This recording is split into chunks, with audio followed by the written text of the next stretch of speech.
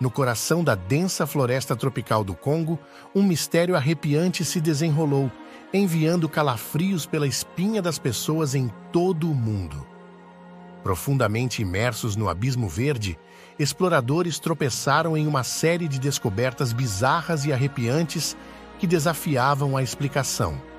Primeiro, foram as pegadas colossais, muito grandes para pertencerem a qualquer criatura conhecida.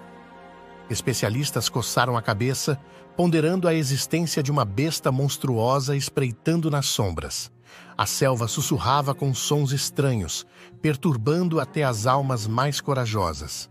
Em seguida, vieram as ruínas antigas escondidas sob a densa cobertura, com estruturas desmoronadas, ostentando símbolos intrigantes e entalhes misteriosos, sugerindo uma civilização avançada perdida no tempo.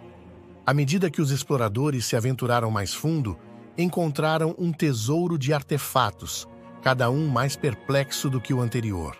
No entanto, a revelação mais aterrorizante estava por vir. No coração deste deserto inexplorado, ocorreu um encontro arrepiante. Testemunhas relataram avistamentos de uma criatura meio humana, meio besta, com olhos vermelhos brilhantes que cortavam a noite. Os habitantes locais falavam de lendas que assombravam seus sonhos há muito tempo, histórias de uma entidade temível que rondava a selva. Notícias dessas descobertas se espalharam como fogo, provocando medo e fascinação em todo o mundo.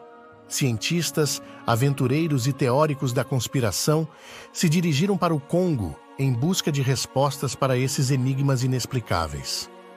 O mundo observou com espanto e medo à medida que os mistérios do Congo se desdobravam, nos deixando a ponderar sobre as profundezas do desconhecido e os segredos que a natureza ainda esconde em seus cantos mais sombrios. O que você achou do que acabamos de mostrar?